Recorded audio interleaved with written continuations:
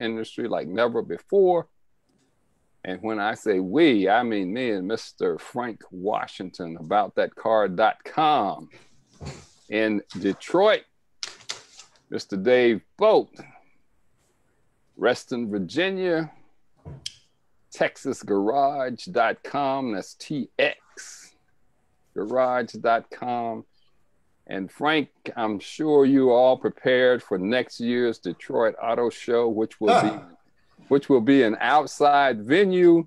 And from what I've seen of the diagrams all over the city, what do you think about the new format, man? I have no idea. Okay, moving right along. I'll come back to Frank as he as he comes up with an idea. Folks, you can always find us on blackpressusa.com. Go to autonetwork.com and subscribe to the channel. That way you can get notifications when we do the show as well as some other live events.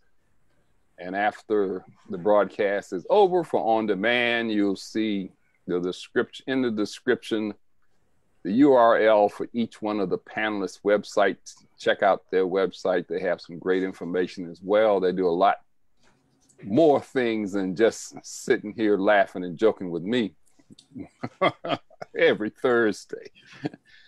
also, if you know an African American male that's around 40 years old, make sure that you start working on him now to go and get his prostrate PSA test. I promised myself I was going to talk about this every show because prostate cancer is a curable cancer if it's caught early. And you're looking at two people sitting right here in front of you that can be a witness to that and can attest to that. Plus, I found a whole lot of other people now that we're out here talking about it that I didn't know that they were survivors either. But you know, the more the more you talk to people, the more you find out. But please, please, please, if you love that person, make sure that they go and get a PSA test and if Greg was here, he would be talking about the exam might not be as bad as you think it is. Some people may actually enjoy it, but that's not the PSA test. the PSA test, folks, is just a little blood work. well, you know, uh, how should how should I say? Gently. I have an addendum. Let's okay. put it like that. And I understand that that uh, that prostate cancer or black men are uh, more susceptible than others to prostate cancer. But, you know, it's like uh, white men, Asian men, Mexican men, uh, uh, Muslim men. I think last time I heard, I think men in general have prostates, and it would not be a bad idea for every man to get checked for, for prostate cancer. That's just my addendum. Well, Frank, some, yes, some opinions of yours I like, and that is one of them. you know, I have no money for you. None. okay. Well, anyway, moving right along, we have a, a, promotion on the auto dealer side. As you know, sometimes we talk about what's happening with auto dealers, and the largest auto dealer, uh, publicly traded auto dealer in the country is AutoNation down in, I think they're in Fort Lauderdale, Florida. And they just appointed Cheryl Miller as the new CEO, excuse me. And that makes Cheryl the first woman appointed to CEO position of a publicly traded auto dealer. And I think that's a uh, step in the right direction. Oh, Chris, I got to unmute you if I can find you. There you are. It's Chris Forty. That's Chris. I'm sorry. How you guys doing? Hey, he popped he popped in on me right quick. Thought I saw him out of the corner of my eye, trying to sneak in the stadium. Without a ticket. Yeah, those blue seats, the premium seats. Yeah, well, the, those are for the special, the special, special people. As you can see, they didn't show up either. But anyway. Okay, uh, moving right along, we have one recall today, and that's the Volvo is recalling 507,000 vehicles globally. There's a faulty engine component that could cause a fire. So, as we always say, go to NHTSA.gov or the Volvo website, look for recalls, enter your VIN number, and if your car is one of those under recall, just call your local dealer. Be nice, make an appointment, take the car in and get that recall taken care of. Most of the time, it's free of charge. And if they have to keep your car for a couple of days, most dealerships will give you a loaner car to drive. So we try to cover recalls on a regular basis. And as you all know, as long as we've been doing it, there are now millions and millions and millions of cars out there uh, under recall. All the car companies are trying different things to get people to take the car in. And I just find it amazing that if you happen to hear that your car, may, car may be under recall, and especially if it could catch fire, and you choose not to take it in, I mean, you're putting yourself at risk as well as everybody in the car or around your particular automobile. And speaking of fires, who had a fire? Kona caught fire. in Canada, it exploded. It blew the doors off the garage that the car was parked in. Uh, almost burned the house down, but fortunately, the fire department got there early enough to uh, contain the fire. The owner of the Kona says that the vehicle was not plugged in. So all of that, as you know, is under investigation. So, so that was the Kona EV. Yes. Okay. Yeah. By Kia. Hyundai. Hyundai. Hyundai. Hyundai. Yeah, we uh, they launched that in Hawaii, if I'm not mistaken. They did. Yeah, that was a nice trip. Speaking well, of trips, any of you guys been on a trip lately? It would have been a nice trip to read about. I would have enjoyed even the postcard, Roosevelt. well, well, Dave, if you followed me back then, you can always watch the video. My video's up also, Dave. I, I, was there on business for the Vol, Volvo C70 convertible launch. Yes, I was there as well. I was there for that. Yeah, a decade that was ago. a while ago. Yeah, yeah. yeah and I still have the video up for that, Dave, if you want to reminisce. well, no, Roosevelt, that's the one I went to. Yes. Oh, I know. but anyway, I forgot to mention this. As much as I love this little car, a couple weeks ago was the last Beetle to come off the production line in Mexico. And they're saying it was a denim blue coupe.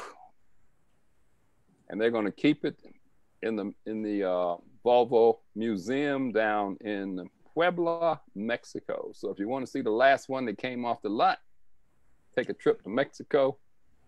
I think what Volvo's been back. I'm talking about Volvo. Volkswagen's been back in the country. What, what 20 20 plus years, a little over 20 years ago that they brought it back.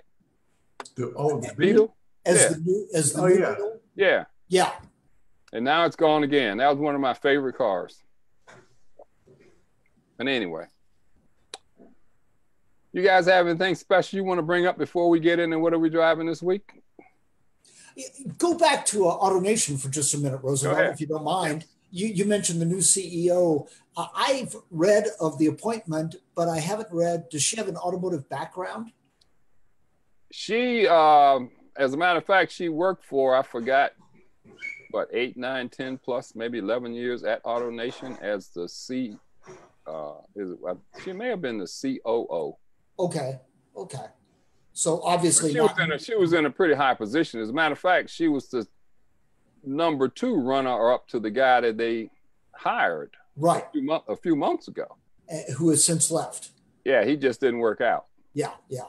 Mike Jackson, the guy who had been there for so long, yes, came came from a dealership environment. I, I think Right. both service and sales. I know he came from service, and I'm just curious as to whether someone running a, an empire like AutoNation without any showroom perspective. Obviously, she's got an AutoNation perspective at this Right. point, but no showroom perspective. That uh, that's kind of interesting. Well, it's it's going. Most people according to the article, think that she will make it. hmm They were surprised that she didn't get it the first go around, but you know they wanted to go out. The board wanted to go outside of the industry, so to speak, and they brought in a guy that uh, lasts what maybe what seven months, Four months, I think. four months, something Very like good. that. Yeah, yeah. So uh, I don't know whether he had a golden parachute, but he probably walked away with uh, substantial money stuffed in his back pocket. Well, hopefully he had at least had the emergency yes, right. I'm, I'm sure he did. And just to be clear, this is not Reggie Miller's sister, right? No, Okay. Uh, unless she's on, unless she's Dave's flavor. Okay. It would be nice if, if that were the case, but I don't. know. that's not the case, Frank. All right. As you all That's know, what came to mind when you said Cheryl Miller. yeah, I, I know, yeah. As you all know, well, I'm getting a little thunder and lightning around here, so I hope I don't lose my connection. But anyway, last week I think it was Chevrolet introduced a new mid-engine Corvette. Yep, Gotten a lot of press. it has. Did you go, Frank? Were, wasn't it up in your area? No, that was uh that was out in California. I'm sure we've all we've all been on any number of trips to California. Right. and I forget exactly the town, but where it was is it was in this it was in this uh, area where you know there are these two blimp hangars that Oh, okay. basically are unused, and I forget. You know, it's is that Southern California? It's definitely Southern California, I think, or part thereof. But that's where it was uh, in in, in uh, uh, one of two blimp hangars. I mean, the things look like something out of this world. Okay. Yeah, I didn't. Uh, I didn't make that one. Did you uh you had mentioned trips Roosevelt? Did you mention the uh the Hyundai Palisade? No, as a matter of fact, uh, we talked a little bit about that last. Was it last week? Yeah, last week. But anyway, anything special you want to bring up? Um, No, nice vehicle. So, so you went to the launch, Chris? uh not the national one. I was on the regional one uh two weeks ago. Okay, fair enough. Fair Yeah, enough. they did a regional one here as well. Yeah, it, it is very nice. I think uh, it's it's going to be interesting to see how the the Kia Telluride and the Palisade uh, fare in the marketplace because both of them are exceptional vehicles. Well, I think the Palisade uh, is going to have ground to make up because at this point in time, I think they're basically selling every Telluride that they can make Right. now. And I think uh, Kia has always had, and I don't know who their advertising agency is, but they've always had outstanding uh, advertising. That's why the Soul is still around, you know, b- because of those chipmunks. You know, Right. And they're gone. yeah, they're gone, but the car is still here. Yeah. You know, they lasted through two generations of that car. You know, It's it's interesting. I, I was talking about the Telluride and the fact that I was going to get one, and somebody posted. I think it may have been on Facebook. Look, somebody every looked like every automotive journalist got their hands on the Telluride. How many did they make?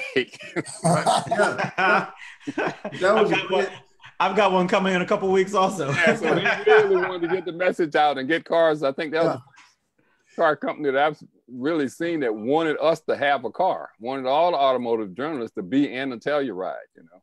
And good for them. Yes. So I think it basically represents the uh, what they thought was going to be a problem between Hyundai uh, and Kia. You know, in terms of selling uh, selling what in essence is the same product. You know, uh, uh, in the sense of uh, on the same platform. It may not be style alike, but you know, up until now they haven't run into that problem because they've been able to separate the two brands in terms of identities. But this, I think, this basically says which one of these do you want to buy? Uh, because they're both they're well, they are the same vehicle, but I think right now, uh, as I say, I've I've seen a, a lot of Tellurides around here, uh, and from what I hear, you know, it's a hot item at this point in time. Uh, and and and uh, thus far, I haven't seen. I don't think I've even seen the advertising for the uh, Palisade. Is it the Palisade? Yeah. Yeah. No, I haven't either. Yeah, I, I haven't seen it advertised. They they've got a little ways to go. Well, you know, you're talking you you're talking about hot. The uh, Dodge has positioned the, the Durango as one of the hottest, I guess, three row. What do they call them? SUVs. SUVs, crossovers. I I get them Well, you know, confused I as to think what's the a crossover. Is a. I think Is an SUV? I think it's an SUV. But it's a it's a three row. They're calling it a three row charge charger. Has 475 horsepower. The SRT trim that is starts at sixty four thousand seven hundred forty dollars. Has a 5.7 liter Hemi engine. And on the low end is the SXT, which starts at thirty-one thousand nine hundred forty dollars. Which means the profit margin on the SRT is about 30 grand. Yeah, right. yeah, right. Good for them. Yeah. SXT worth every penny. Dave, Dave's, ac- Dave's accounting background is showing. That's amazing. Yeah. but it's called a three row charger. And if you notice in the commercials, when they show the charger, the Challenger, the Durango is right there with them. Oh yeah, I've seen that Yeah, it's, you know, you would open, I didn't even pay attention to it until I read the article about it. I said, oh, and then I saw a commercial. I said, yep, there it is, sitting right there on the left. Well, remember, remember when they were running the Dodge brothers in the ads, the two guys with straw hats? They presumably have procreated and now need three rows. No. Good, good for them. Well, you know, they're, they're they're basically continuing to cut that that niche e- even deeper, and and basically it's uh, a performance niche, It is. and and it has worked. It really has. Guess, guess what else people have found out about those the Dodges? the Highway Loss Data Institute study shows that the Dodge Charger Hemi and the Dodge Challenger SRT Hellcat are two of the most likely to be stolen cars in the country. That, along with the Right. Infiniti Q50, are five times more likely to be stolen than any other car. wow. yeah, That's- did, a, they did a news story around here on on on uh, Chargers uh, being stolen, uh, and as well as Challengers too. And what happens is most the buyers for that car are mostly young men, uh, and what they're doing is that they are uh, tinting the glass. And once they tint that glass, then it becomes uh, it's shatterable. You know, Oh. it's not shatterproof anymore. It Huh. becomes shatterable, and that's what they're doing, just knocking out the window and stealing the car. Interesting. But the least stolen car, may as well say that, Volkswagen Beetle. No, the BMW 3 Series four door sedan, Huh. and Tesla Model S, and the Model X. Interesting, interesting. Very. Okay, let's see, Dave. What are you driving this week, or what were you in last week? I just got out of out of the uh, Hyundai Kona, and being the uh, internal combustion engine, it did not combust. So that, that was good. This had the 1.6 turbo, and uh, I really like that drivetrain, and so wish more compact or subcompact crossovers had horsepower.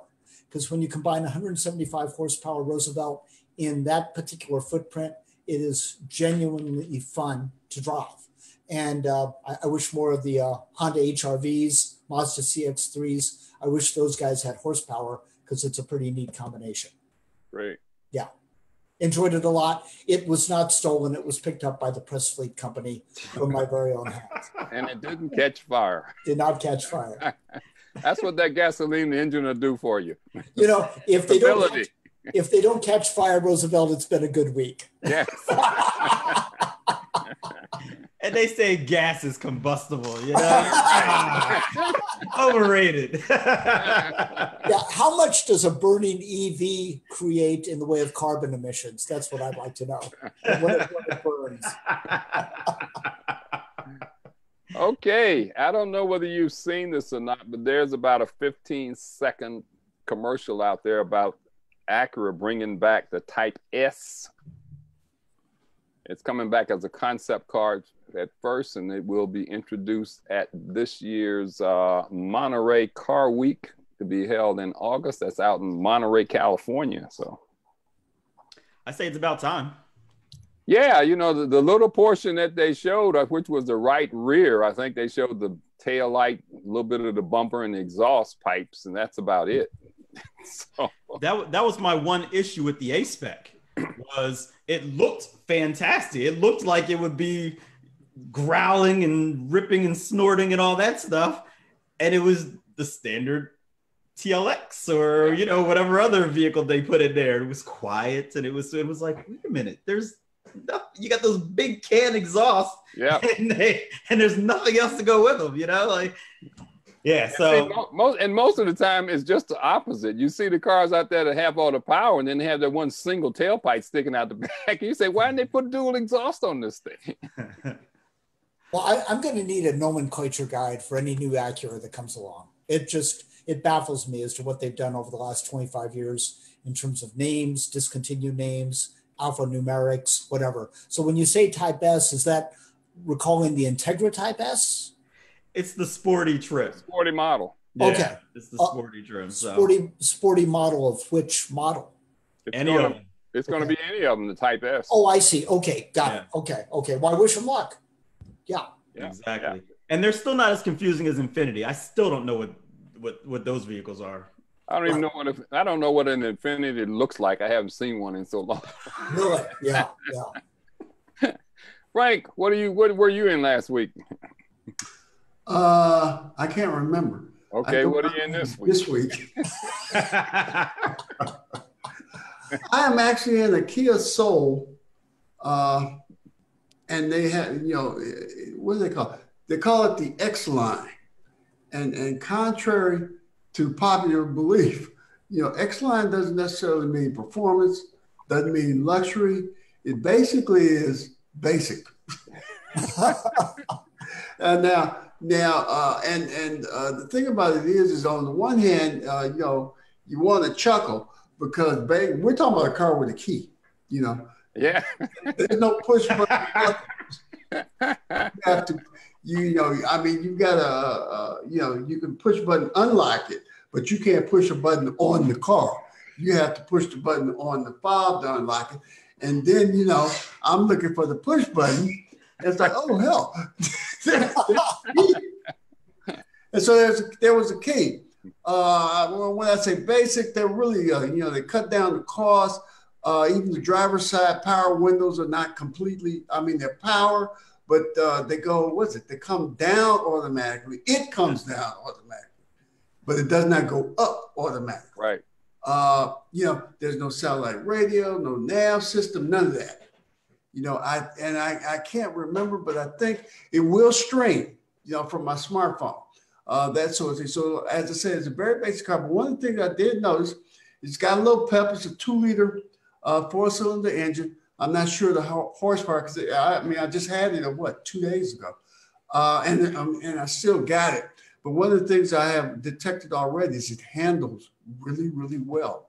You know, really handles well because uh, there's absolutely well I won't say no play, but there's virtually almost no play in that steering wheel. In other words, when I shimmy the steering wheel, the whole car shimmies, and that's an indication of uh, excellent handling. Uh, the you know the back seat, you know, it, it's a box, so the back seat, uh, you know, you can move in and plant a garden back there. you know, it's a lot of space. Uh, you know, so so, and I think for a first time car buyer, it's great. Or for somebody who doesn't really care about all that stuff, it's also great. You know, get the smartphone and and and uh, stream, you know, Pandora or something else. And you know, the thing was uh, what? It's twenty two thousand nine hundred sixty bucks. That's not bad in today's world. That actually, that's great in today's world. See that that X line is where they want you to sign. You know, you have the X there. tell, tell me, anybody selling anything who doesn't want you to sign? Yeah, want you to sign. it. They're telling you right off X line here. X line here. Line here. Yeah. You know, you're talking about streaming, Frank. Uh, Tesla is coming out where they're going to be streaming Netflix and YouTube eventually in the autonomous version that comes out in the future while you're driving. But right now they're setting it up where you can it's like Netflix and YouTube while you're sitting. Just shake my head and say, "Why?" Why would you do that? Because we want to be entertained. But as, as someone, well, how should one say? As someone who who advocates safe driving, why would you do that? Because there's some fool, uh, and I'm going to call you a fool, not you, but anybody who does that uh, while they're driving uh, is a fool. Well, you can't do it while you're driving yet. Only, okay. only in the autonomous version, which is driverless, will you be able to do it while the car is actually moving. So. Oh, that's good. Yeah. so, so you're not going to pay attention to where the car is driving you. Oh yeah, yeah, great. Well, well, remember when autonomous cars come out, Frank, you're not going to have a steering wheel and you're not going to have brakes. So what, yeah. what else you going to well, do? Well, you know, at my age, I won't be here no way. So, so I'm not worried about it. But I have grandchildren, you know, so I hope they've got some sense. anyway, Chris, what are you in, man? Uh, so I uh, I, I want to concur with Frank real quick on that Kia Soul because I just got out of that not too long ago. Just posted my review on that last week, and it's it really was a, a nice little car. Basic, but nice. I mean, that's what you want. If you're looking for a cheap twenty thousand dollar car, that's what you're getting, and that's definitely a good one to get. I was totally surprised at how well that vehicle drove. We say this on the show all the time. It's hard to find a bad car these days. Exactly, but this is one of the better ones. Yeah, you know, you, you have your levels of you know all cars are pretty good, and then you have some that are you know a little better. That that Kia Soul def- definitely impressed me. Um, but that's not what I'm talking about today. I'm talking about the uh, Toyota Rav4, 2019 Toyota Rav4 Hybrid. Um, I just got out of, and um, that uh, that again another really good vehicle. One of those where you know, it, the RAV4 started off as Toyota's cheap little scrawny crossover. You know, they had to throw in picnic tables and stuff like that to try and make them interesting for people, try to give you your your value for your dollar. And now they are fairly substantial in size. Um, they've got a ton of luxurious, like, or at least I call them premium features that the original um, uh, RAV4 could never even dream of at the time, and it has a price tag go along with it as well. Um, the, this particular car that I had, it was it had MSRP of forty thousand two hundred seventy nine dollars. That's up there for Rav4. Yes. Yeah. But as with a lot of these cars, you know, the Civics and the uh, just a lot of these cars that started off as these economy type cars, this current version of it is not an economy car anymore. It is. It has upgraded, upscaled everything. And so when you look at the spec sheet and you go through all that, and then you also take into consideration how well it drives and you know all the appointments and all that stuff, then it starts to make sense the price range. You know, obviously this was a loaded, top of the line version of the car. Um, you know, base price starts in back in the into the the, the 30s somewhere, uh, or actually maybe even in the 20s if you if you're not talking hybrid. Um, but you know, again, it it's a really really nice car, really nice car. Um, I mean, you're getting over 40 miles to the gallon. I was averaging almost 42 miles to the gallon in this thing in a decent sized crossover. Uh, had all wheel drive, um, had great power, all that stuff, plenty of space. Really nice vehicle. Really nice vehicle. I I I, I can't complain much about it at all. So what bumped the price up? Packages? Go ahead, Frank. I'm sorry, Frank. No, no. Go ahead. Well, okay, so the um yes, packages did bump up the price, but also the hybrid itself is a little more pricey. Like base price for the hybrid is 35,000. Um which, you know, again, the hybrids do t- tend to be a little more expensive than the standard gasoline versions. Um but then this car it I mean, the limited weather package was over a thousand dollars. You've got uh, the upgraded uh, navigation and stereo that was almost six hundred dollars. Had the advanced technology package that was another thousand plus dollars. So all these things just kept ramping the price up. So you can get it cheaper. It's just this version of it, the one that makes it a very premium vehicle. Uh, that's what brought it up to that forty thousand dollar price range. Right. Uh, here's an insider tip for, for those folks who, who uh, have forty or fifty thousand dollars laying around.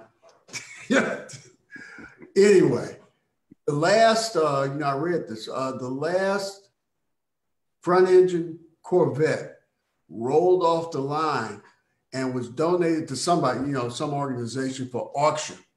Thing sold for something like $2.6 million, somewhere around there.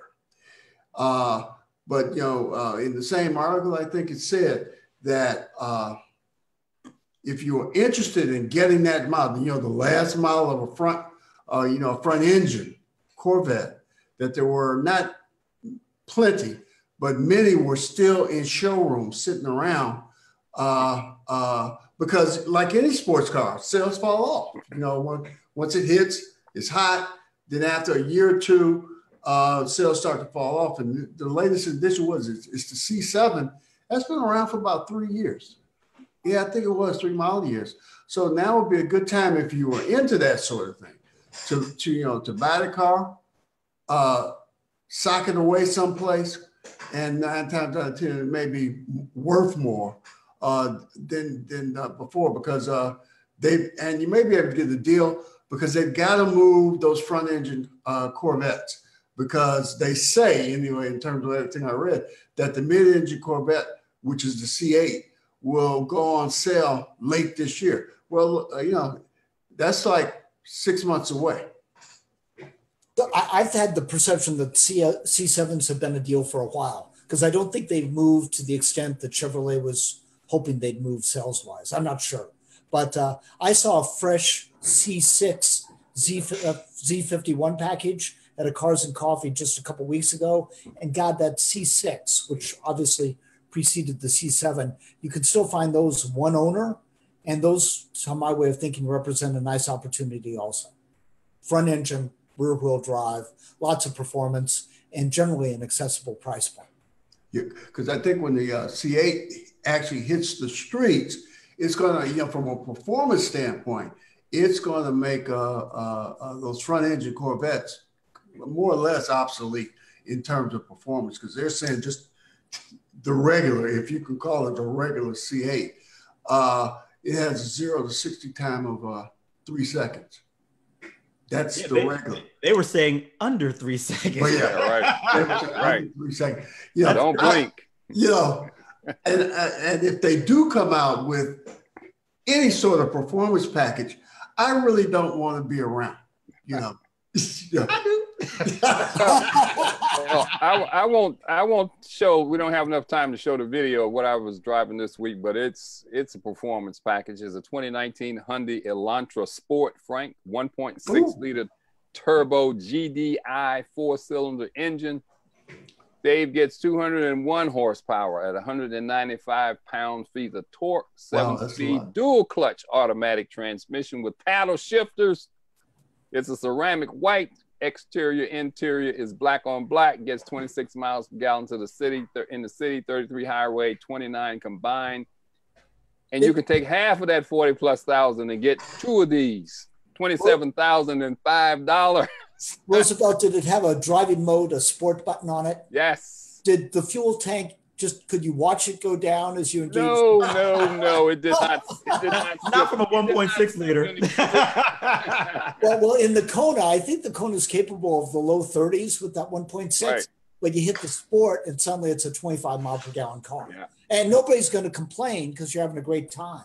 Exactly. But, but anyway, this car, this car, I mean, I had it was fun to drive. It had a little bit of turbo lag, which I found surprising in this day and age. But anyway, it's a nice car to drive. I like the design. It had uh, rear folding flat feet, seats, rather, which gave you a lot of extra space in the rear. And with the tur- with the turbo, it was quick once it got going. Mm-hmm. The only thing I didn't like about it, it had a lot of internal cabin noise. And right after this, well, about right now, it's going live on YouTube. So you can go to autonetwork.com and check out my detailed walk around of the 2019 Hyundai Elantra Sport. And that brings it into time, guys. I think real quick. What was the price of that again? Twenty-seven thousand five dollars. Nice. And, and, Roosevelt, is there time to pitch uh, the uh, Quentin Tarantino movie? Go right ahead. Yeah. Uh, Did you get an what, invite? Yeah. No. What, but what's the title? while I'm pitching it, somebody reminds Once me. upon a time in Hollywood. Thank you, Frank. If anybody likes mid 60s automotive love letters, to see Brad Pitt in what I think is a 66 Coupe de Ville, priceless. Well, the The- one you should be pitching is in the, what is it, driving in the rain or something like that? That Oh, Disney, the art of racing in the rain. the Arc of Racing, rather that, Yeah. that Disney has presu- pro- produced, and it's supposed to be um, August 9th. private showing tonight and tomorrow for journalists that signed up, or if Disney sent you an invite. Send me the did postcard. I didn't get it either. Well, I got one, but I don't know where the theater was. It's not here where I'm living. It's in LA. yeah, probably. you happen to be in town. yeah, right. but anyway, as always, guys, thanks for the time. Please buckle up, don't drink and drive. Buckle up, don't text and drive. And as Frank added, buckle up, don't stream and drive. And now he's saying he definitely said don't, don't stream and drive now with with Netflix and YouTube being posted. Don't do it. Stream the car. Do Not do it. Thanks, guys. See you next time. Thanks, See you Roosevelt. later. bye bye. Bye bye.